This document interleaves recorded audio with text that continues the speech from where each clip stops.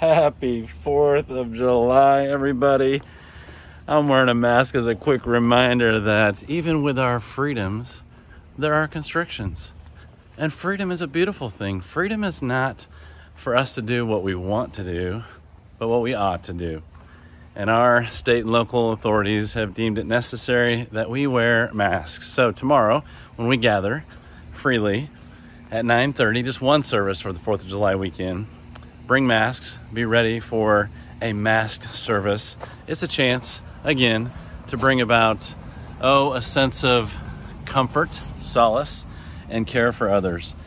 Considering others is more important than yourself is a mark of the church, and that's the new normal that we're in.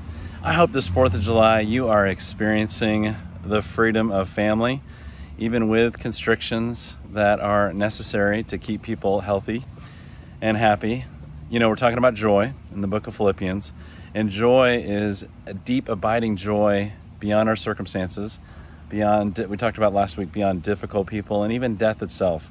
So as you gather with fireworks, with food on the grill, with family and friends, I pray you are thanking God for the freedoms we have to worship Him in this great nation. Now, again, this great nation is only great to the extent that we allow God to be the ruler of our hearts.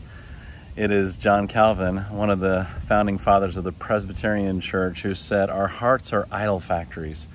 So, as we talk about God and country, may we keep that order in place that it's God before our country, before our nation. It's God's kingdom, not the kingdom of the USA. And yet, we still praise God and say, God bless America.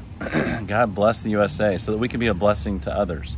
We're never blessed just for ourselves, but for others. So, again, this 4th of July, freely worship God, freely love others, be set free. In fact, in the Hebrew, doror is the way you, I think that's how you pronounce that, that Hebrew word where we get liberty and freedom.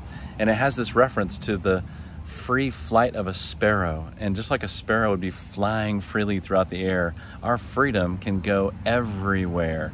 May our freedom to love and care for others flow into every relation that we have. So, God bless you on this 4th of July, Independence Day. May we be set free from our sin, from our wounds, from our hurts and our aches and our fears and our worries. God be glorified. Happy Independence Day. See you tomorrow, either online or on site. God bless. America.